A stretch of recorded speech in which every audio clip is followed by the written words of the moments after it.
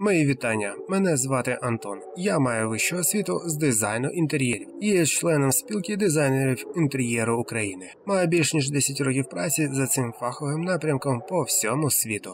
Отже, хочу вам донести розуміння осягнення сучасності, оздоблення навколишнього середовища людини та поширення естетики у різноманітних прошарках суспільства. У серії моїх відео буде суцільний дизайн, бачення візуального оздоблення того або іншого прибіщення, певним визначеним стилем або стилізацією. Важка термінологія з дизайну, креслення, візуальне та кольорове збагачення простору. Просторова асихметика та визначення класифікації дизайну інтер'єрів в історії людства.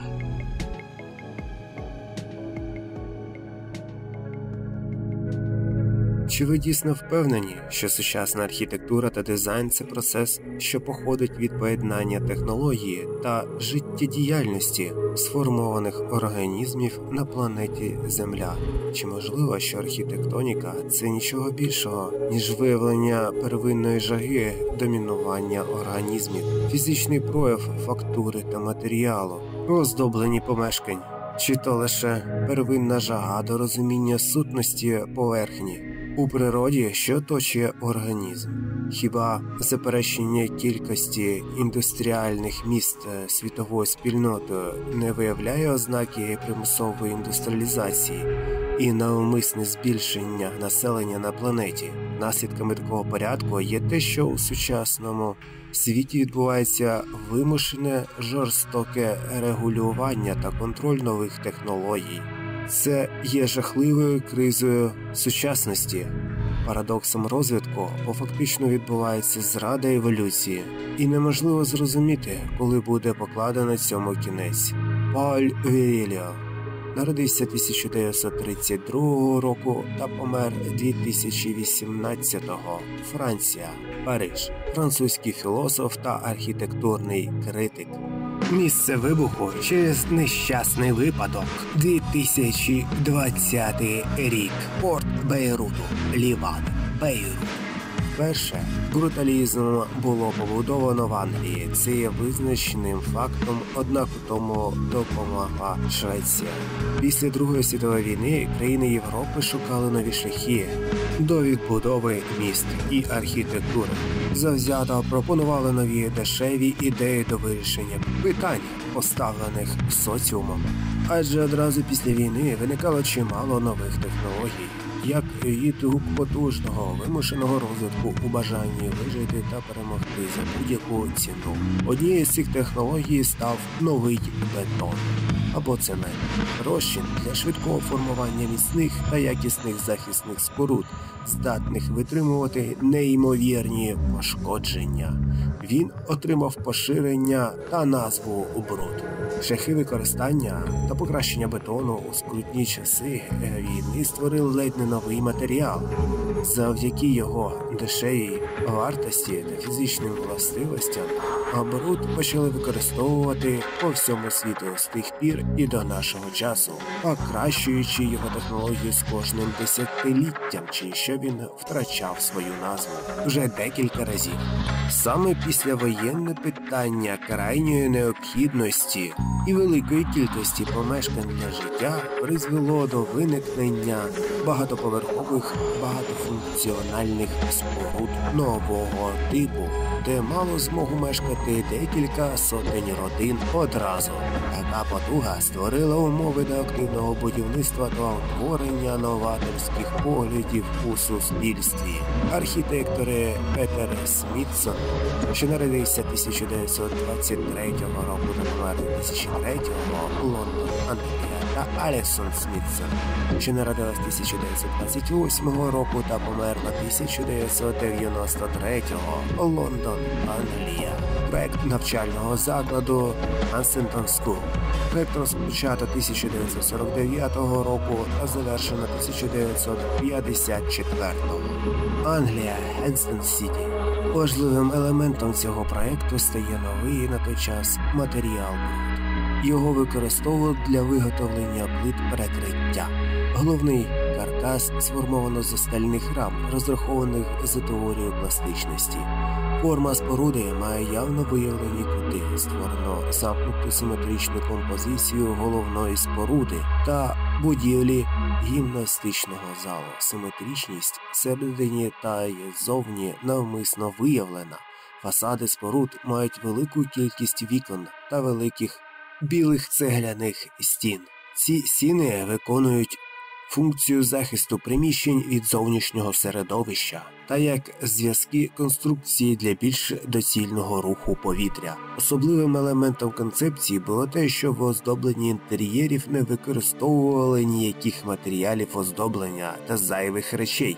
Електричне живлення, водопостачання та інші елементи інженерних шляхів влаштовували навмисно відкрито виявлено, що формує їх декоративну складову, подібно до новомодних помешкань митців промислового Нью-Йорку. Стандартні металічні профілі, з яких виконано каркас споруди та віконні рами, не є досконалими елементами будівлі, як і сама концепція споруди, ототожнена до простої форми, що особлює в собі виклик до функції та практичності конструктивізму тих часів школи Баухаус. Хоча саме після проекту Hanston School вперше заговорили про бруталізм у світі як про новий напрямок в архітектурі та дизайні. На той час це ще не був остаточно сформований стиль бруталізму. Для його впевненості потрібно було більше виразних образів форми, ніж навмисне виявлення резервуарів для води та вираження службових входів на фоні загальних приміщень. Незважаючи ні на що навколо неймовірно великої кількості новобудов тих часів, значну кількість з них без вагань характеризували як новий модний напрям бруталізму. Втім, переважна їх більшість насправді не була такими, а мала радше ознаки пошуку нової форми, відсутність оздоблення, поверхонь після будівництва, бетонні блоки, відкриті балки перекриття, наслідки революції промислового виробництва. Лише виразно змальовували будинок. Однак потрібно було відтворення нової концепції маніфесту, кардинальних рішень. Church of the Madonna dei Poveri, побудована 1956 року. Архітектори проекту Луїджі Фіджіні, що народився 1903 року та помер 1984-го Мілан, Італія, та Джіно Поліні, що народився 1903 року та помер 1991-го Мілан, Італія. Саме через те, що у протестантських церквах відсутність оздоблення було звичним явищем, лише розташування предметів обмірковувалось у кожному випадку окремо.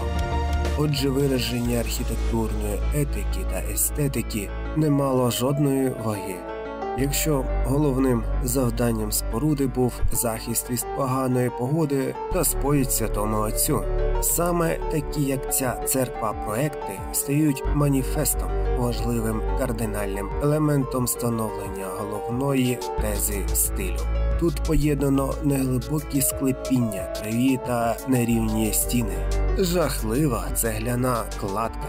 Це особливо навмисно вирізняється ближче до вівтаря, головної частини церкви. Саме в цьому найважливішому місці стіни починають відрізнятися товщою та висотою, візуально вигинаються у різноманітних напрямках, відтворюючи середньовічну кладку. Саме це та архітектура, яка має вас заплутати. Коли бачиш прояви такої архітектури та оздоблення інтер'єру, починаєш поневірятися, тому чи дійсно людина, що вивчила школу високого відродження, здатна створити щось подібне у часи промислових звершень та технічних здобутків нового часу. За такою концепцією простору та геометрії що не мають нічого спільного з жодною будівлею міського типу, які оточують церкву, є виявленням іншої архітектури. Це та споруда, що виражає справжню байдужість до архітектури. Угрупування таких споруд своїм виглядом визначає радикальність стилю, прояв екстремістської, терористичної архітектури, який здатен зробити вибух у місті. Однак скло, сталь, цегла та бетон, Hunstanton School та Church of the Madonna dei Poveri, навіть підтримувані уявою, були занадто тонкими, рівними ззовні правильними, щоб у повній мірі освітлити можливості нового стилю. І це вдалося зробити у іншому видатному проєкті Palace of Assembly Чандігар. Початок проекту 1951 рік, його завершення 1962 року. Чандігар, Індія. Архітектором та дизайнером проекту стає Чарльз Едуард Жанерет, що народився 1887 року та помер 1964. Швеція Ляшаукс Дефонс. У 2016 році ця будівля Corbusier була визнана всесвітньою спадщиною ЮНЕСКО. Отже, саме після поділу регіону Пенджаб у 1947 році та здобуття незалежності новостворений уряд Пенджабу вимагав нової столиці. Тодішній прем'єр-міністр Джавахарлал Неру доручив цю працю видатному шведському архітектору Ле. Коли Ле Корбюзьє побажав розробити деякі елементи оздоблення, він вирішив проконсультуватися з прем'єр-міністром Неру щодо орнаментів, які можна використовувати у декоруванні. Однак Неро доручив Ле Корвізє самотужки розробити ті орнаменти, за якими буде існувати нова Індія та нова генерація індусів. В інтер'єрах привертає увагу багато речей, з яких двері прикрашені яскравими кольорами та розділені на верхню та нижню частини. Зображаючи стосунки людини та космосу, це зображення сонцестояння, місячні затемнення та рівнодення. Проміж того блукають живі тваринки та навколишня природа. Зображення пустелі вказує на перевісний порядок землі, тоді як рослини знаменують ознаки того життя. Двері площею майже 8 квадратних метрів вкрито емаллю та виготовлено з деревини рідкісного різновиду. Їх було створено французькими майстрами в Парижі. Інтер'єри приміщення Ле Корбюзє виконано за концепцією архітектури, що знаменує обіг часу. Ці приміщення повинні були заохочувати рух людей та думок, високі стелі, вузькі колони, замість сходів використано пандуси, що забезпечували безперервний потік руху. Головні приміщення утворено циркулярними. Це було глибоким переконанням Ле Корбюз'є. Задля того, щоб перебувати поза центром у просторі. Такі інтер'єри покликані кинути виклик неокласичним принципам та організації простору за цими принципами. Великий майстер зі своєю командою відтворив усі головні будівлі міста. Відтоді Пенджаб значно збіднів, а споруди та інтер'єри, виконані Ле Корбюз'є, почали зростати в ціні. Речі з тих інтер'єрів час від часу і досі потрапляють на великі аукціони, де їх скуповують за неймовірні кошти. Отже, нова етичність стилю бруталізму відтворювала вільну архітектуру, що уособлювало чистоту та свободу. Ідея чистоти в оздобленні та проєктуванні стала основною метою виникнення послідовників бруталізму по всьому світу. Популярність руху бруталістів почали підтримувати навіть соціалісти та комуністи через його дешевий, швидкий та функціональний прояв. Така архітектура надавала унікальну можливість архітектору виявити чистоту його думки, моральне пояснення питань проєктування, навіть незважаючи на естетичність форми, відтворювалась чиста монументальність. Конструктивний матеріал будинку став його основним елементом дизайну, і це було зручно для змісту головної думки архітектури. Головним чином саме через це архітектори по всьому світу визнали бруталізм. Кіонорі Кікутаке народився 1928 року та помер 2011-го. Японія Куруме. Його проект це Sky House 1958 року. Японія, місто Токіо. Проект був дуже експериментальним для свого часу та мав на меті перевірити можливості мобільності будинку та конструкції в середовищі міста. Отже, всі його інженерні елементи освітлення, опалення, вентиляція, водопостачання мали можливість бути заблокованими та переміщеними у межах будинку, що дозволяло змінювати приналежність приміщень за бажанням власника. Отже, за початковою концепцією споруди Кіонорі Кікутаке відтворив перші головні засади формування майбутнього стилю метаболізму в архітектурі. Це був вже інший рівень архітектурних рішень. Навіть більше того, була запланована можливість змінювати конструктивні елементи споруди для подальшого переміщення усього будинку в будь-яке інше місце. Хоча на практиці власників цього будинку така можливість виявилась нездійсненною. Втім, конструктивні розрахунки Кіонорі Кікутаке це враховували. Одна бетонна плита розмірами 10 на 10 метрів була піднята на 4,5 метри. Її підтримувала чотири інші прямокутні плити меншого розміру, розташовані по центру з кожної сторони чотирикутника. В свою чергу на ці чотири несущі плити спирались опори, які підтримували суцільний бетонний дах.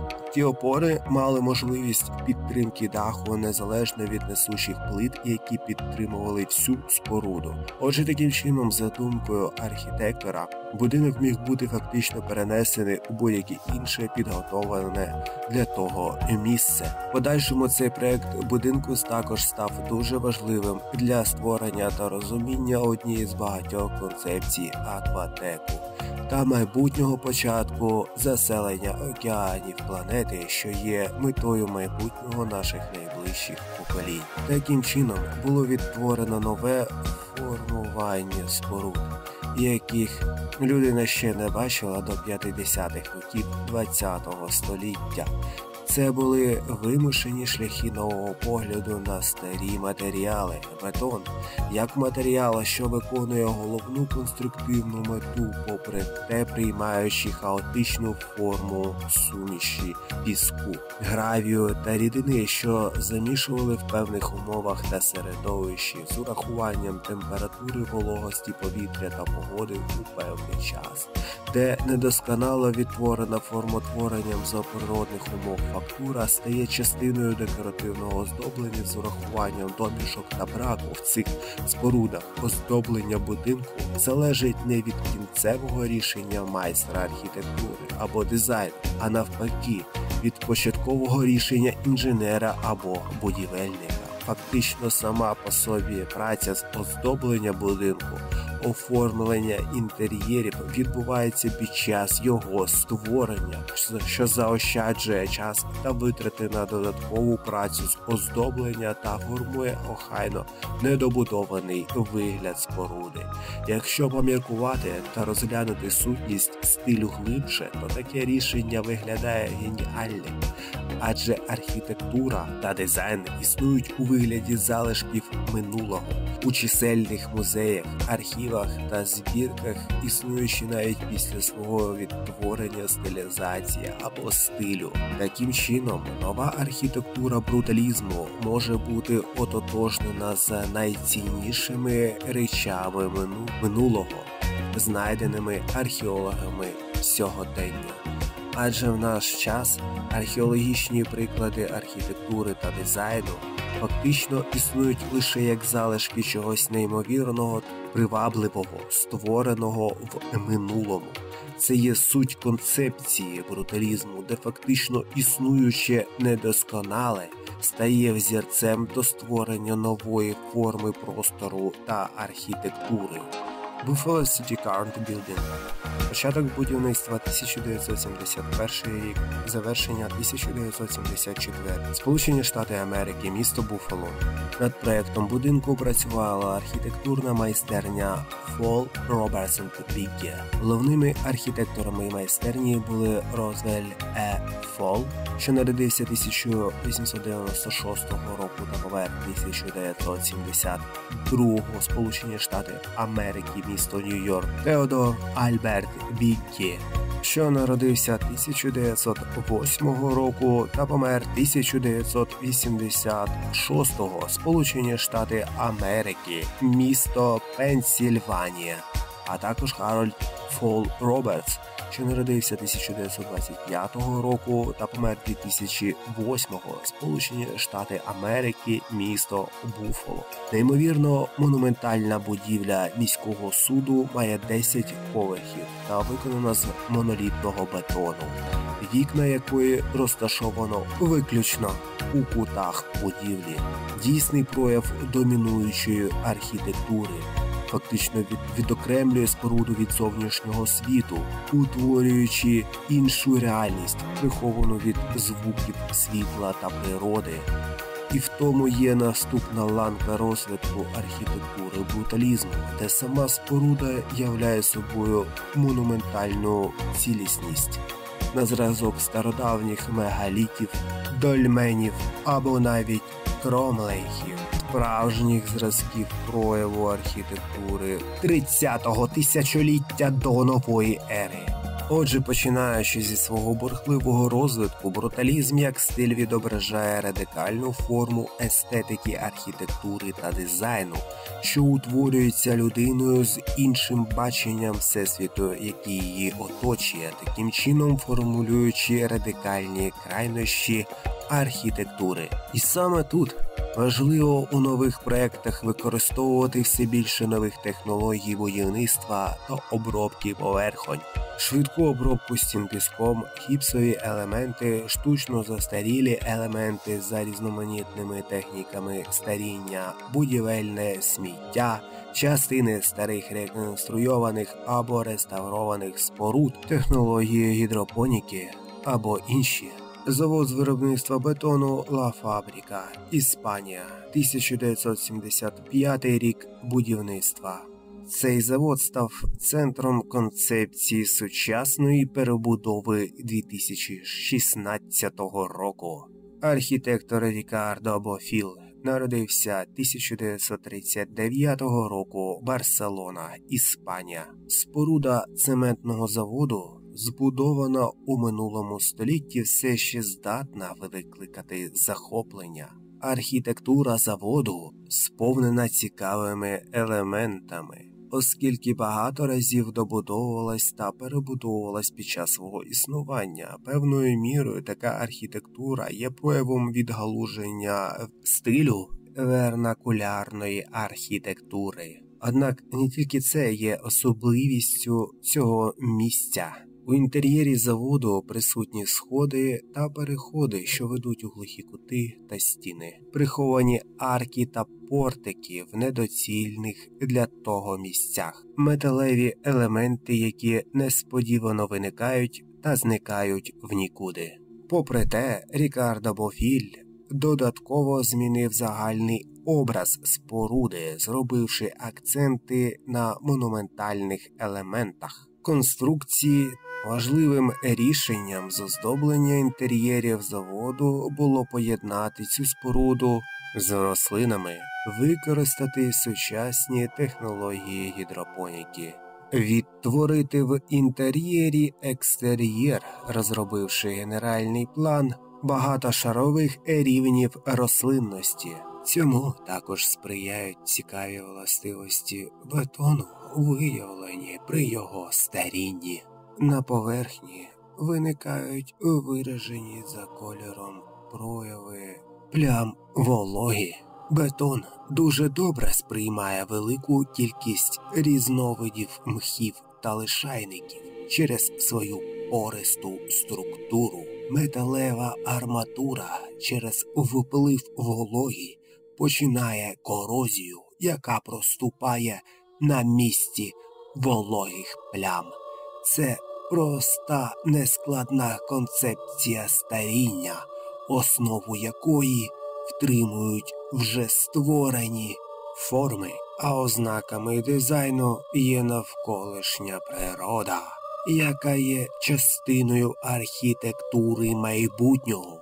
Технології це прояв нового бруталізму, який тяжіє до чуйності, емоцій. Тут немає усталених методів, і кожний проєкт є окремим проявом майстерності митця, ототожнюючи себе до скульптури великого масштабу та значного змісту. St. Peter's Seminary збудовано 1966 року Кардрос, Шотландія. Проект було створено архітектурною майстернею Желіс Пекід Co., що була заснована 1927 року, і вона проіснувала до 1987 року Глазгоу, Шотландія. У створенні майстерні приймало участь одразу декілька родин архітекторів, тому важко зрозуміти, хто саме був її засновником. Через 10 років архітектурна майстерня являла собою суспільне відкрите місце для практики нових архітекторів, що належали до родин або були друзями родин засновників цієї майстерні.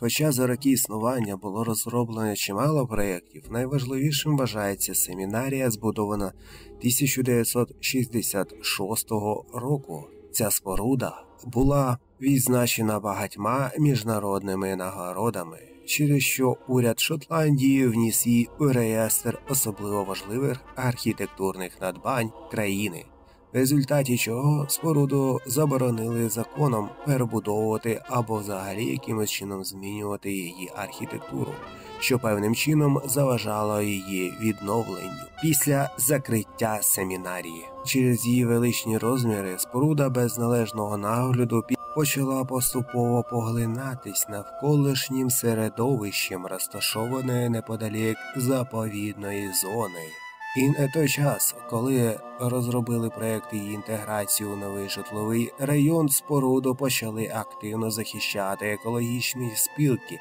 як вже важливу частину навколишньої заповідної зони. Доки доти у 2015 році споруду не придбав митець Ангус Фарквар, що народився 1961 року Глазгоу, Шотландія. Наразі споруда виконує функції павільйону для зйомок багатьох кінострічок, проведення закритих розважальних заходів та лекцій. Власнику споруди дозволено змінювати лише середовище у самій споруді, що надає змогу для багатьох експериментів оздоблення інтер'єрів сучасними засобами декорування, освітлення та моушен дизайну рухливого дизайну, де важливими елементами образу простору стають фрагменти світлових ефектів, анімацій, стріт арту, оп арту, використання нових технологій та візуальних технік, що забезпечують ці технології, тауматропо, фенакістоскопів, стробоскопів, зоотропів, праксіноскопів, філіп книг, з забезпеченням безперервного музичного супроводу, природи, води, проявів сучасного музичного мінімалізму. Відображенням будь-якої форми експериментального або абстрактно експериментального дизайну з використанням руху як головної концепції. Ці прояви моушен дизайну поступово поглинають простір, що оточує сучасну людину. Очікується, що до 2022 року 82% інформації, що сприймає людина щоденно, буде створено за допомогою моушен дизайну, де безумовно важливу роль буде займати архітектура та дизайн інтер'єрів